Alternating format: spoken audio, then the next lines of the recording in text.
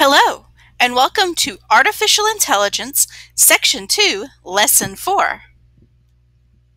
Today, you will read The Promise and Pitfalls of Using Robots to Care for the Elderly.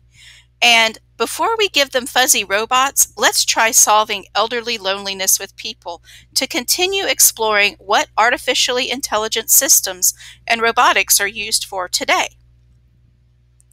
You will also discuss present day uses of robots in a social capacity and whether socializing with robots could be beneficial or detrimental. You will also add details to the Understanding AI tool.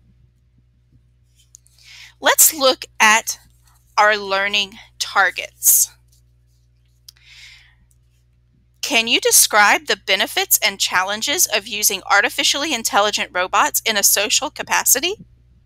Can you make a claim and provide evidence to support that claim? These learning targets are similar to learning targets we've seen in previous lessons.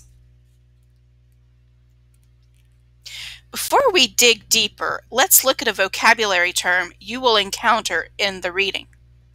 Embodied means expressed or personified, as in, in the movie Cadillac Records, Beyonce embodied Etta James's experience wholly, carrying the complex trauma of James's youth from the very moment that she's introduced to the story. Now you will read the promise and pitfalls of using robots to care for the elderly independently to establish your understanding.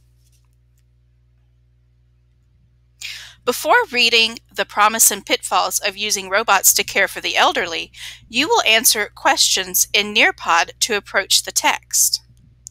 The questions that you'll be answering are, what is the text type? And what do you understand about the text based on this information? You will then read the promise and pitfalls of using robots to care for the elderly independently you will need to consider the reading fo focus. Is socializing with robots beneficial or detrimental? Go ahead and open your unit reader to pages 20 to page 27.